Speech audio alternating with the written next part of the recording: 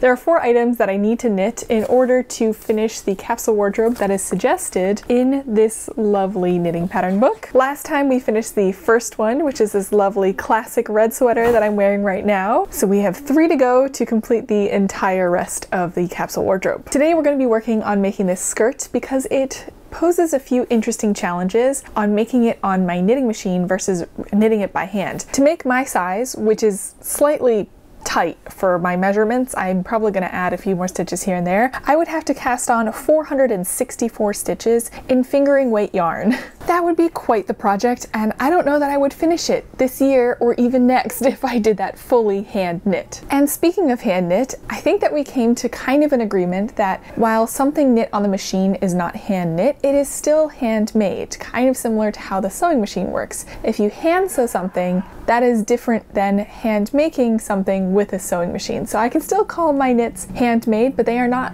hand knit because I didn't knit each one of the stitches by hand with my knitting needles. Coming back to the skirt pattern, which this book calls the swing pattern. Last time we did the mazurka and I tried to use some music that kind of sounded like a mazurka. I have actually danced the mazurka once in my life at a Victorian ball. That was really fun. And I did used to do swing dancing, so this is kind of fun. I feel like I have to learn how to polka dance and I have to learn how to dance the maxixe. We'll have to see. The kind of technical aspect of knitting the skirt pattern on my knitting machine is the fact that it has a subtle zigzag to it. And that is produced by by having stockinette as the background stitches and then the zigzag is in moss stitch or seed stitch, which is alternating knit and purls. On the knitting machine that I have, I would have to manually manipulate each and every stitch every single time, along with doing all the decreases. Be faster than doing it by hand, but still take quite a long time. So I first want to see if there's a different way that I can introduce a pattern to my skirt rather than just having it be a plain stockinette fabric.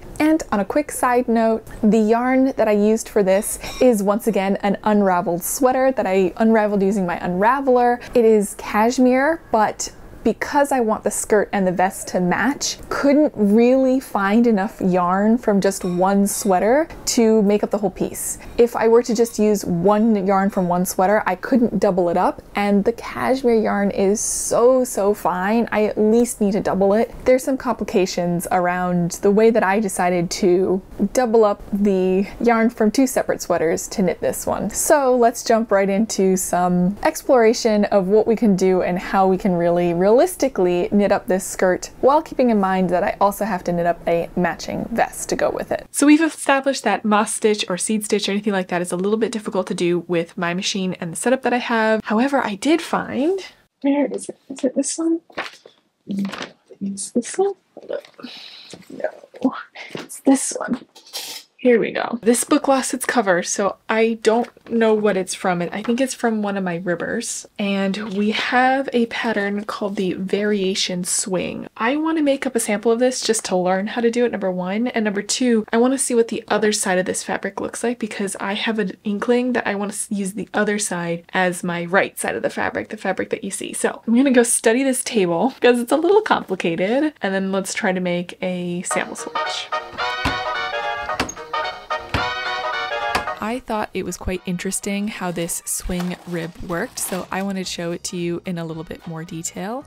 On the left hand side of my knitting bed, I have a little swing arm that I can use to control the relative position of the ribber bed that you can see moving here to the main knitting machine. So this is the swing arm, and I can turn that in the different directions to move the ribber bed left and right, and that then creates a zigzag pattern as I continue to move it back and forth as I'm knitting more rows, which is kind of fun, I think. Okay, I am really proud of this sample. Look at this. Okay, down here, I had made the mistake where I wasn't knitting with all of the needles on the knitting bed machine, so I needed to engage all of the needles on the knitting bed. Then when I did that, that is when the pattern really came out. So I think that looks really cool. The only thing is I had mentioned that I wanted to see the other side of the pattern and it shows up pretty well on camera that there's like a tension difference, but it's not fully a pattern. In real life, it just looks like did you knit that slightly unevenly? I don't think there's a way to change that. Other thing that I was considering, there is a pattern in the book called the herringbone swing. Which could be another contender, but it's a tuck and swing. The swing wasn't too bad. I've tried tuck patterns before though, and they've always just clogged up my machine. So let me read through the graph on this one and maybe I can try it out if I can even get it to work. So I'm gonna read it and let's see what, what, what it says really.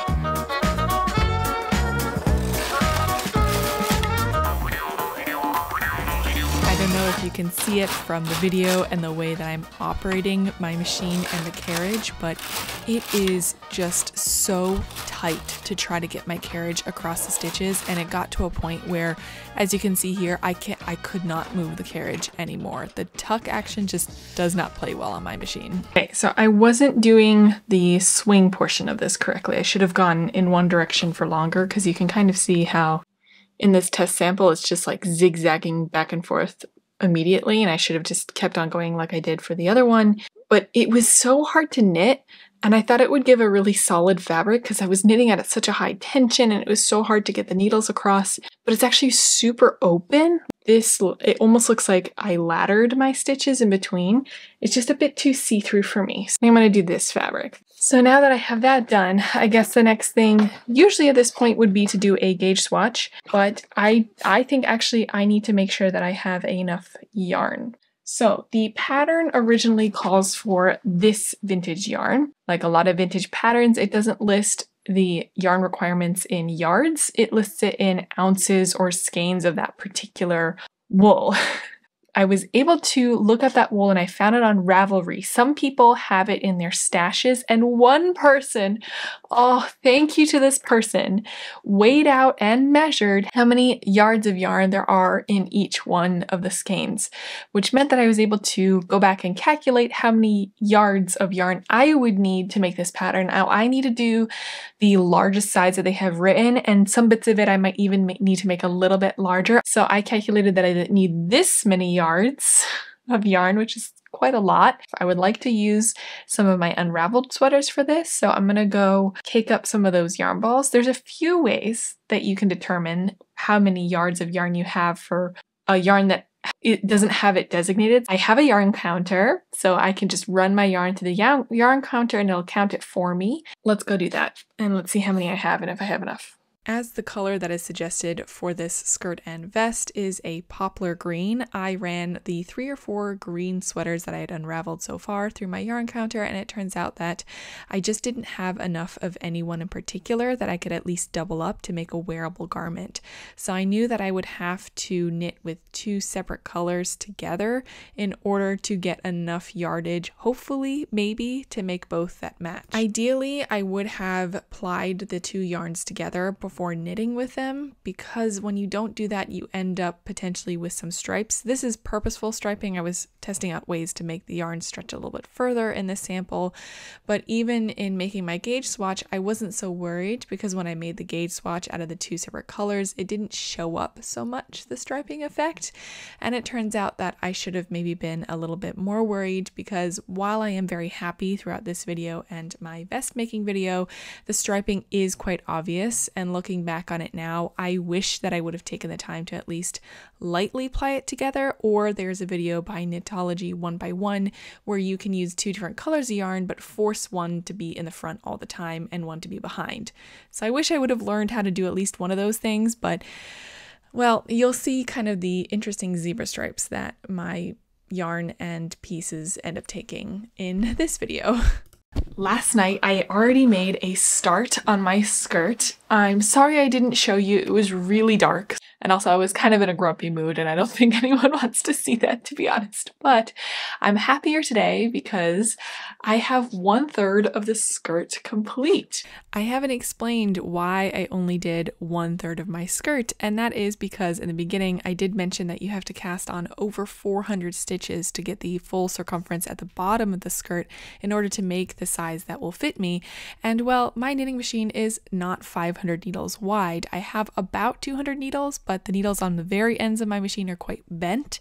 So I rather than kind of playing with fire and doing half of the skirt, so two skirt panels, I decided to make three skirt panels. So I split the width of the skirt into three and knit three separate panels that I would then have to seam up to make the full skirt pattern. Now this does look maybe a little see-through, but I will be wearing this skirt with a slip underneath it. So I did use two yarns together.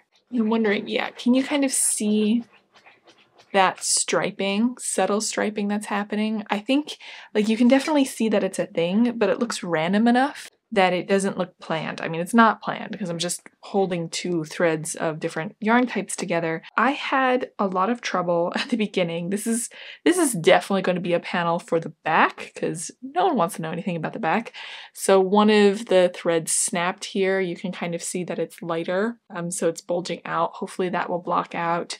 I have quite a few runs that I have to fix. So this is a, a purl row this is a run. I guess I also never decided to explain why I didn't do the swing rib, and the main reason is that, like I stated before, I started this late at night when I was not in the best mood, so I wanted to do something that was a little bit easier on my brain, and rather than do just plain stockinette, I decided to do a stockinette stitch skirt with purl ribs that run down it. And there's inspiration that I took from some other 40s patterns that are very, very similar. I just didn't want to do the extra mental math of the swing rib, and I thought it looked a little bit more 90s than 1940s, if that makes sense. And I'm sorry I wasn't clear about that before. so I have a few of those. The left side of my bed was kind of a curse last night. Holding it up, it does seem small, but I'm hoping that it's because a stockinette always curls. So I'm hoping that's why it seems small, not because it's too small. Oh boy. I was debating on whether I should like fix the mistakes in this one or just go to the next panel. I'm thinking I'll go to the next panel because while I did read up the pattern, they were and I made the notes for myself with some of the changes that I made last night from the pattern versus what I did on the machine. Uh, it's just it's fresh right now. So I'd rather go make the other two skirt panels and then I can go to the, like the assembly and mending portion of the skirt. Did I say I'm really happy with this? Because I am. it's gonna wear super well, I think. Hopefully. Hopefully.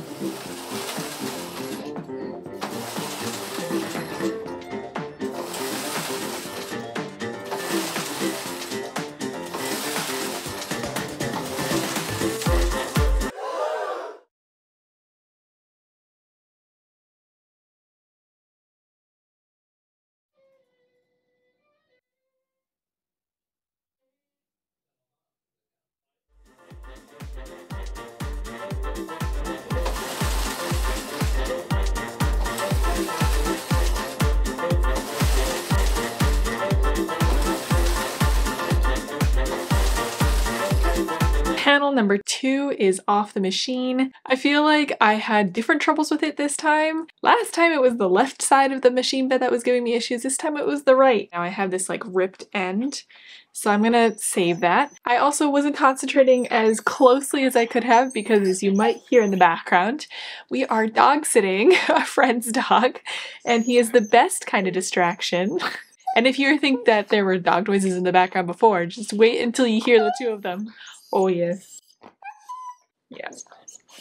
So the other issues besides that ripped bit is I uh, accidentally forgot to move some of the stitches towards the end here. So these should have been decreases and instead I created eyelets. But I'm just going to sew those closed. I means I ended up with a few extra stitches, but with a skirt, that's never really a bad thing in my opinion. I did replace some of the needles on the right side of the bed from the last time that I was knitting on this because I noticed that they were stuck. I thought I had gotten all of the ones with stuck latches or bent latches, but I have felt a few more. So before I cast on my last one, I think I might go through all the needles again and replace any that aren't working. Let's do that and then I will see you, I guess, for the third panel cast on. With an older knitting machine that is in the condition mine's in, you do have to be a little bit comfortable working with it. So here I am removing the sponge bar as far as I need it to in order to access the needles that are broken that I need to remove. The sponge bar puts tension on the needles, so this needs to be removed so that I can get the needles in and out. And once the needles are replaced with working ones, I just kind of cannibalize the working ones from the end of my machine, so I have fewer and fewer needles as time goes by. I put the sponge bar back in place and I am back to knitting on my third and final panel.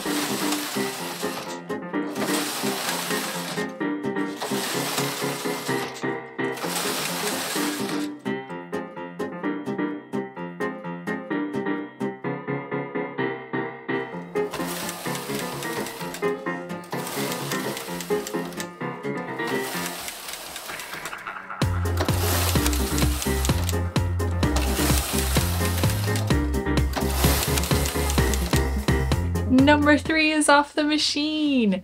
It has the least amount of mistakes. Not no mistakes. I did catch one stitch, so I have an extra loop here, and then there is one extra eyelet here that I have to sew up, but we don't have any rips at the bottom of the hem. The main components of this skirt are finished. The next thing that I have to do is I'm going to fix all of the like urgent mistakes that I have on my other two panels, the ones where there's rips and runs.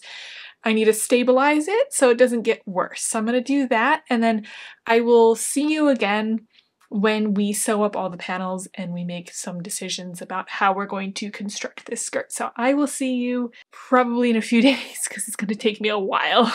And here are the first two skirt panels sewn together, but I am pointing out the seam here so you can see it a little bit more on the wrong side where the seam goes. I do think that the seam works really well and it's pretty invisible. I don't think you could tell if it were a more cohesive fabric, but because of the striping that happened, you can see it a little bit. It's called the blind stitch, and I'm sure there's lots of tutorials online, but I found this one in one of my knitting machine books, so that's the one that I followed. And I just attached the third panel as you can see me doing here. It was good because these are very long seams to roughly pin in place where I was aiming for on each one and it's pretty satisfying to kind of loosely stitch for a while because you want to make sure that your tension's even so then you pull it up and together and then that's how you can make sure that your tension is really nice between those two panels and I think that that lended to a really clean seam. I did end up putting in a zipper in my skirt because I just wasn't sure that I'd be able to get it over my hips and then fit my waist as well. I used this vintage zipper that I had that was in the absolute perfect color. And I also added two rows of single crochet to the bottom like the instructions said. I blocked it out by ironing it and it was fully ready for me to share with you.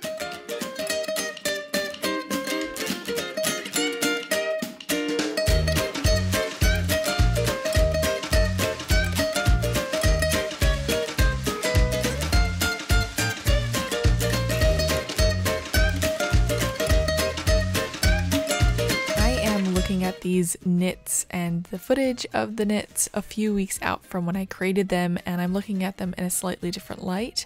I am still really happy that I was able to create this skirt and how soft it is. I mean, it is cashmere, so it's wonderful, but I am pretty disappointed now looking back on it on the striping effect from the yarns. Like I said, I wish I would have done one of two things to either marl the yarn or minimize the effect of the striping, but I am really happy that I do have a wearable and I think still pretty cute skirt. I don't know. What do you think? Also, I'm so sorry that I randomly switched what pattern I was doing for the skirt midway through. This was a little bit helter-skelter, maybe, as you can tell. I do hope that you enjoyed watching this. If you like this, feel free to subscribe because you'll see another video about the 1940s knit capsule wardrobe really, really soon. Thank you again. Bye! Kind of tedious to do with my Shein. my Shein. My machine. You're helping me prepare. Making sure my chair is fluffy.